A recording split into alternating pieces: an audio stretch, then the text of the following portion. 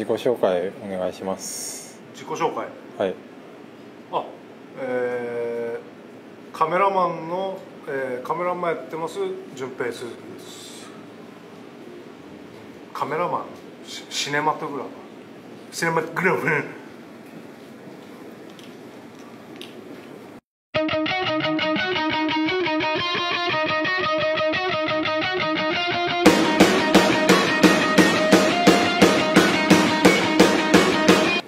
カメラマンになろうと思ったきっかけは何ですか？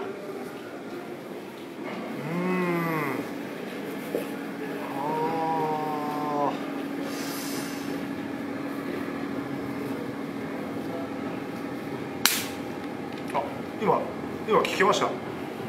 今あ聞こえました？プシュって聞こえました？あ聞こえました。これあの炭酸大好きで。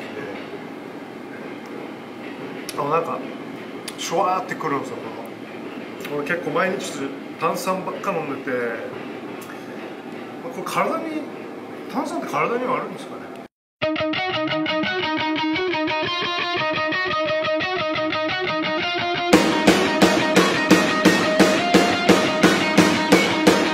いやあのはい。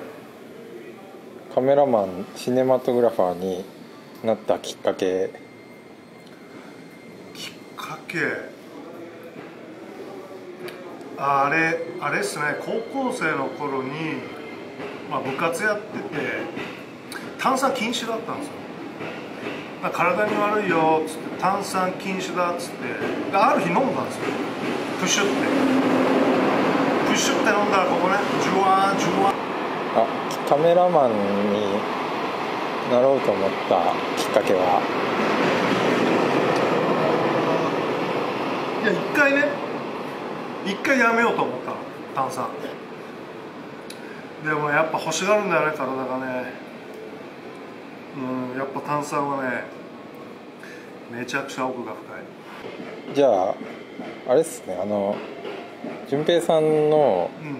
撮る絵ってなんかこうグッとくるなんかあるうん。じゃないですか、そのなんそこに行き着くのはどうやって行き着いたんですかね？そのスタイルというか。うーん。スタイルね、うん。結構こう炭酸開けた時プシュって今ならなかったでしょ？あ。いろんなスタイルがあってね。